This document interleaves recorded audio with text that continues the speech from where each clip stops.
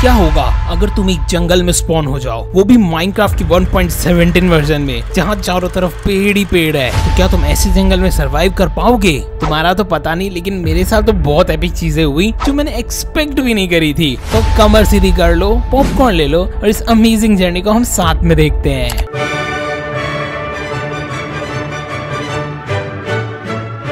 Day one हम लोगों ने अपने सर्वाइवल वीडियो में देखा था कि हम एक जंगल में स्पॉन हुए थे और हम लोगों ने कसम खाई थी कि हम इस सीरीज़ में वेजिटेरियन बन के रहेंगे, क्योंकि मैं रियल लाइफ में भी वेज हूँ। बस केक में एग चलता है। और लकीली मुझे बहुत सारे मेलन्स वहाँ मिल गए, जिन्हें मैंने बहुत प्यार से तोड़ा। उसके बाद मैं खुदाई करने का सोच रहा था, लेकिन टेंशन था कि इस जंगल में कहाँ पे खुदाई शुरू करूँ। तो भाई, पास में ही मुझे केव मिल गया, जहाँ हम लोगों ने डिगिंग स्टार्ट कर दी, और हमें पास में ही आयरन मिल गया। अब इम्पोर्टेंट बात, ये वर्ल्ड मैंने गलती से 1.16.5 में क्रिएट कर दिया था, लेकिन अगले दिन इसे मैंने 1.17 में खेला। इसलिए फ़र्स्ट डे में 16.5 जैसा लगेगा, लेकिन उसके अगले दिन मैंने इसे ठीक कर लिया था। और उस आयरन को अपनी गिरफ्त में लेने के बाद हम आयरन की पिकेक्स बना के जीवन में आगे बढ़ गए। हमारी शुद्ध हिंदी पर गौर गौर किया क्या आपने। इसी बात पर एक लाइक ठोक दीजिए। फिर खुदाई करते करते हमको अपने पहले ही दिन डायमंड मिल गया। उसकी खुशी में हमने एक तस्वीर ली और पाँच डायमंड लेने के बाद हम लावा के पास गए रेडस्टोन लेने के लिए। आखिर हमारे अंदर पूरा लालच भी तो भरा हुआ है। और रेडस्टोन लेने के चक्कर में हम लावा में गिर गए। और हमारा किस्मत ओपी है, इसलिए हम हाफ़ हर्ट पर बच गए थे। बाप रे, वो सीन लेजेंडरी सीन था जो तुम लोगों ने पिछले वीडियो में भी देखा था। मेरे कल। फिर शेयर बना के हम लोगों ने एक एक शीप को नंगा किया ताकि हम बेड बना सके। और हमने बेड रेडी करके रिस्पॉन पॉइंट सेट कर लिया। फिर नेक्स्ट डे हमें एक बहुत बड़ी गुफा दिखी, जिसे तुम लोगों ने बताया की रवीन कहते हैं। और वहीं पर हम लोगों ने डायमंड माइन करने का डिसाइड किया। और मैंने वर्ल्ड को 1.17 में ट्रांसफ़र कर लिया था तो मैं रवीन के नीचे गया वर्ल्ड को एक्सप्लोर करने के लिए। लेकिन उसके पहले मैंने एक छोटी सी कुटिया बना ली ताकि मैं वहाँ अपना बच्चा कुछ सामान रख सकूँ। और वाटर बकेट लेके हम अंदर कूद गए। हमने देखा कि न्यू अपडेट में तो आयरन हमें रॉ में मिलता है और हमें इसे फर्नेस में बार बार स्मेल्ट करना पड़ता है। क्या फालतू काम है यार। और फिर हमें ड्रिप स्टोन भी मिला, जो एक न्यू एलिमेंट है। इसका कोई काम ही नहीं है, लेकिन बस ये डेकोरेशन के काम आएगा। और फिर मुझे यहाँ पर कुछ नीला नीला दिखा। मुझे लगा, भाई साहब, यहाँ ऊपर में ही डायमंड मिल गया। नया अपडेट तो बड़ा कमाल का है। और जैसे ही मैंने उसे खुशी से तोड़ा तो भाई मेरे साथ तो प्रैंक हो गया। ये न्यू अपडेट में स्टोन के ऊपर फंगस लगा दिया गया है। तो ये ऐसा लगता है कि डायमंड है। हे भगवान, क्या होगा माइनक्राफ्ट वालों का? फिर मुझे नीचे पानी में कुछ लहराता हुआ दिखा। भाई ये बहुत ही वियर था। इससे मुझे डैमेज भी मिला। तो मैं एक बार के लिए पीछे हुआ। फिर जैसे ही मैं वापस आगे गया तो वो गायब हो गया। ये सच में एक बहुत अजीब सा क्रिएचर था। हीरो नाइन के बाद शायद ही मैंने ऐसा कोई वियर चीज़ देखा हो। भाई, तुम लोग बताना ये क्या था कमेंट में। फिर अपने आप को शांति देते हुए मैं आगे गया और मुझे गोल्ड और कॉपर भी मिला। कॉपर एक नया एलिमेंट है, लेकिन उसका हम ना तो टूल्स बना सकते और ना ही कोई खास काम का है। ये भी शायद सिर्फ़ डेकोरेशन के काम आएगा। उसके बाद मैंने रवीन पे रास्ता बनाया ताकि मैं आराम से ऊपर नीचे जा सकूँ और डायमंड माइन कर सकूँ। फिर मैं जैसे ही घर लौटा भाई साहब मुझे सामने विच दिख गई। No, मैं डर के एक बार लिए तो पीछे हो गया, क्योंकि मेरे पास कुछ खास आर्मर ये सब है नहीं। और विच दिखना बहुत ही रेयर चीज़ होती है। तो मैंने डिसाइड किया कि मैं उसे मारूँगा। क्या पता मुझे पोषण ही मिल जाए विच में से पोषण भी निकलते हैं। और फिर मैं हिम्मत लेके आगे बढ़ा फाइट लेने के लिए। और एक ही सेकेंड में मुझे पता चल गया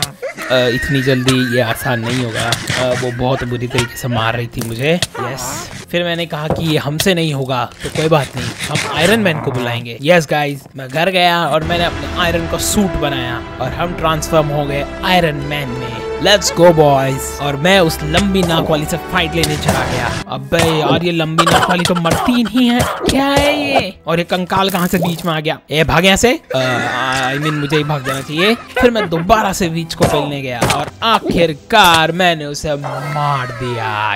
या। आ, लेकिन ये क्या हुआ? मुझे तो सिर्फ़ दो रेड स्टोन मिला। कितना प्रैंक होगा यार मेरे साथ। हे भगवान। फिर मैंने उस दुख भरे लम्हे को हटाया और डिसाइड किया कि अब मैं एक सुंदर सा घर बनाऊँगा और हम वेजिटेरियन है तो हमें एक फार्म बनाना पड़ेगा ताकि हमारे पास खाने पीने का अनलिमिटेड सोर्स हो। लेकिन हम तो जंगल में है, या तो हर जगह, या तो पहाड़ है, या पेड़ है। कुछ भी बनाने के लिए मुझे पूरे एरिया को साफ़ करना पड़ेगा, जिसमें बहुत टाइम लगता है और बहुत बोरिंग प्रोसेस है। एक एक को साफ़ करने में एक एक दो दो दिन लग जाएगा। तो फिर मैंने सामान बनाया और मैं लग गया साफ़ सफ़ाई करने के लिए। मैं मेहनत पे मेहनत करते चला गया और मैं रात को सो भी नहीं रहा था, जो मेरे लिए ज़्यादा डिफ़िकल्ट पड़ रहा था, क्योंकि हमारे फेवरेट क्रीपर्स भी सब आके मुझे अपना प्यार दिखा रहे थे। इतना करो ना हमें प्यार, दूर से ही खेलो ना मेरे यार। क्या बात है? मतलब शायरी तो हमारी आ ही जाती है वीडियो में। आज की शायरी भी आप नीचे कमेंट में खिड़काई दीजिए। पढ़ने में बड़ा मज़ा आता है। एक शायरी हो जाए। आखिर हमें एक बड़ा सा घर बनाना था तो मैंने बहुत सारे पेड़ों की कुटाई की, बहुत ज़्यादा जमीनें साफ़ की। इसमें मुझे काफ़ी ज़्यादा टाइम लग गया। जंगल में स्पॉन ही क्यों होना था मुझे?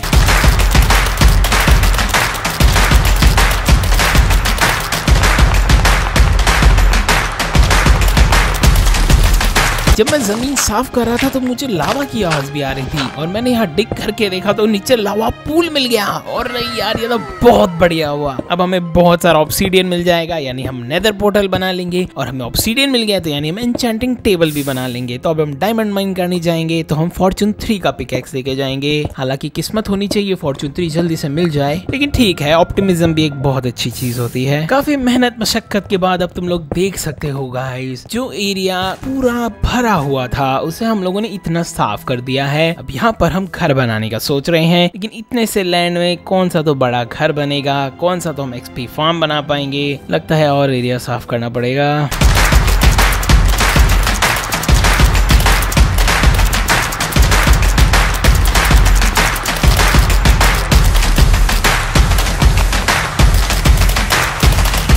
हमारा खाना ऑलमोस्ट खत्म होने वाला था तो मैंने सोचा दो चार तरबूज ही उगा लिया जाए। हालाँकि ये तरबूज उगाने का सही तरीका नहीं है, लेकिन ठीक है, एक उगेगा, एक ही सही। और इससे हमें एक नया एडवांसमेंट भी मिल गया, और बहुत सारा मेहनत, मशक्कत करने के बाद हम लोगों ने देखा तो हमारा तरबूज उग चुका था। इसे देखकर मुझे बहुत ज़्यादा खुशी हुई। मेरा खुद का पहला फ़ार्मिंग अब हमने घर बनाना शुरू कर दिया। मैं सोच रहा था कि एक वुडन हाउस बनाऊँ, क्योंकि पहले तो वुड ही है हमारे पास जंगल में से। बड़ा बनाएँगे बनाएँगे और थोड़ा सुंदर बनाएँगे। मतलब हमारा मेन फोकस होगा घर को सुंदर बनाना। इसलिए मैं यहाँ से स्टार्ट कर रहा हूँ और एल शेप में मैं घर बनाने का सोच रहा हूँ। तो ये अपने घर का एक बेसिक आउटलाइन है। यहाँ से एक दरवाज़ा होगा। तो दो दिन तो मुझे इस घर को डिज़ाइन देने में लग गए, क्योंकि रात को तो मॉब्स आ जाते थे।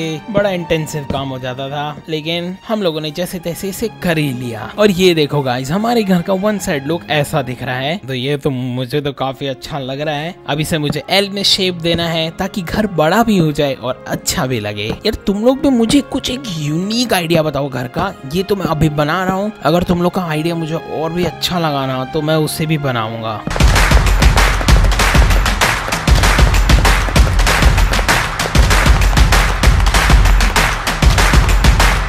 और घर पर फाइनल टच देने के लिए मैंने सोचा इस पर थोड़े ग्लासेस लगा दिए जाए। तो मैंने सैंड को पकाया और फिर हमने यहाँ पर थोड़ा ग्लासेस लगा दिए, जिससे कसम से घर में एक अलग ही लुक आ गई। मतलब मज़ा ही आ गया। और ये देखो, हमारा घर ऐसा दिख रहा है। मुझे तो बहुत अच्छा लग रहा है। काफ़ी मेहनत लगा है इसे बनाने में भी। अभी मैं सोच रहा हूँ कि इस पे कैंप फायर भी लगाऊ। मतलब चिमनी जैसा फील आना चाहिए। फिर हमने घर की थोड़ी फेंसिंग भी कर दी, ताकि मॉब्स यार बार बार ना आए एक बार के लिए।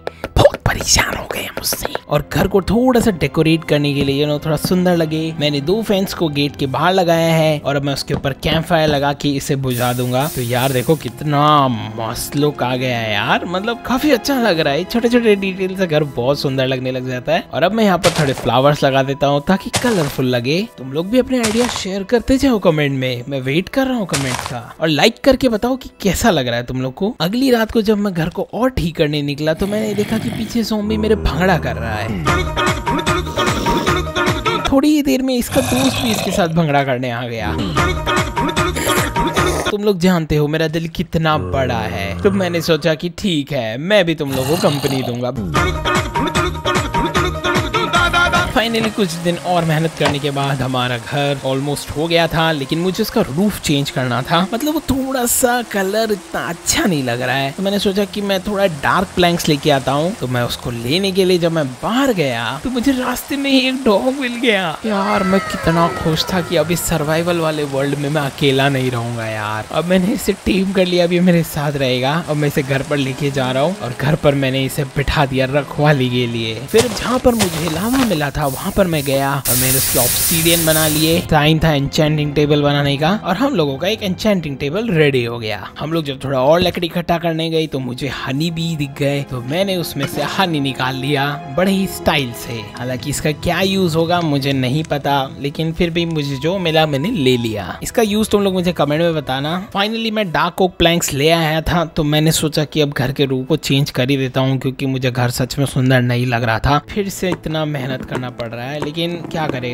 मुझे अच्छा नहीं लगा। तो गाइस तुम लोगों को याद है, ये हमारा पहला घर था। फिर हम लोगों ने एक घर बनाया जो तुम लोगों ने देखा था, और अब मैंने उसको चेंज कर दिया है। तो अब इसका लुक देखो तुम लोग, और बताओ, ये कैसा लग रहा है? मतलब देखो, कितना फ़र्क आ गया है ना, इसका एक रूफ का कलर चेंज कर देने से। ओ माई गॉड ये फैंटम ओ माय गॉड मुझे फैंटम मिल गया भाई। अब हमें फैंटम मेम्ब्रेन भी मिल जाएगा जो पोशन बनाने में बड़ा काम आता है मेम्ब्रेन और यही सामने हम लोगों ने चार पाँच बीज भी लगा दिए थे अपने मेलन्स के ताकि हमें थोड़े बहुत मेलन्स और मिल जाए। तो उसमें से एक और मेलन उग गया है। लेकिन मेरे दिमाग में एक अलग ही आइडिया आ रहा है। मैं सोच रहा हूँ की मेलन का फार्म ना बनाऊ। मैं बनाऊँगा पम्पकिन का फार्म क्योंकि पम्पकिन से हम लोग पम्पकिन पाई बना सकते हैं जिससे खाने से हमारी बहुत ज़्यादा फ़ूड हेल्थ बढ़ती है। पम्पकिन से हम लोग आयरन गोलम बना सकते हैं। और पम्पकिन से हम लोग जैकुल लेंटन भी बना सकते हैं, जो लाइट की तरह काम करता है। मतलब पम्पकिन के बहुत सारे यूज़ है, इसलिए मैं मेलन का फार्म नहीं बनाऊँगा, मैं पम्पकिन का बहुत बड़ा वाला फार्म बनाऊँगा। और यस अब मेरा नेक्स्ट मिशन उसी पे था, घर तो हमारा रेडी हो ही चुका है। और पम्पकिन को स्ट्रेट लाइन में फार्म करते हैं, और हमारे पास पानी की तो कमी नहीं है, हम रिवर के पास खड़े हैं। तो यहाँ स्ट्रेट लाइन में मैंने पम्पकिन के बीज लगा दिए, और बीच में मुझे पानी रखना था। तो एक लाइन मैंने पानी का रखा, और फिर दो यहाँ पर मैंने गैप रखा। यानी हम पम्पकिन का पूरा फार्म बना रहे हैं। पम्पकिन का फार्म ऐसे काम करता है कि जहाँ पर हम बीज लगाते हैं, वो उसकी साइड में ग्रो होता है साइड वाले लैंड पे। इसलिए हमें एक लैंड वहाँ साइड में छोड़ना पड़ता है। तो इसमें मैंने बहुत टाइम इन्वेस्ट करके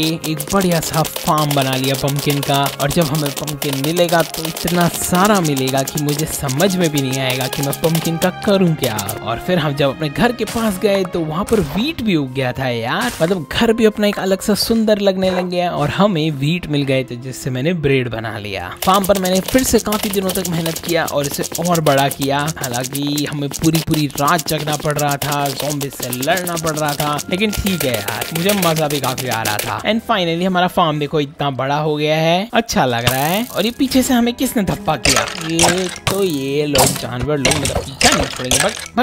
ओके गाइस अब मैं सोच रहा हूँ कि हमें एंचेंटिंग करना है, क्योंकि हम लोग एंचेंटिंग टेबल बना चुके हैं, लेकिन उसके लिए मुझे एक्सपी थर्टी चाहिए, लेकिन बार बार थर्टी करने के लिए मुझे एक एक्सपी फार्म बनाना पड़ेगा, ताकि हमें एक्सपी की कोई चिंता ही नहीं रहे। तो यस गाइस अब हमारा नेक्स्ट मिशन है एक्सपी फार्म बनाना। लेकिन आई गेस ये वीडियो काफ़ी लंबा हो गया है, और हम लोगों ने ऑलरेडी 25 डेज़ कंप्लीट कर लिए हैं। आगे का 25 डेज़ हम दूसरे वीडियो में देखेंगे। ये वीडियो तुम लोगों को कैसी लगी, मुझे लाइक करके बताओ यार। बड़ी मेहनत लगी है इस वीडियो को बनाने में। तो मैं इसका नेक्स्ट पार्ट जल्दी से जल्दी रिलीज़ कर दूँगा। मैंने इसे हंड्रेड डेज़ तक खेला है। और कुछ नए आइडियाज़ इस हमारे वर्ल्ड के लिए तो मुझे कमेंट में बताओ, मुझे हमारे कमेंट का सभी से इंतज़ार रहता है। और आज की शायरी भी नीचे कमेंट कर देना, तुम लोग की इनोवेटिव शायरी पढ़ने में मुझे बहुत मज़ा आता है। तो भाई, मिलते हैं नेक्स्ट एपिसोड में, तब तक के लिए बाय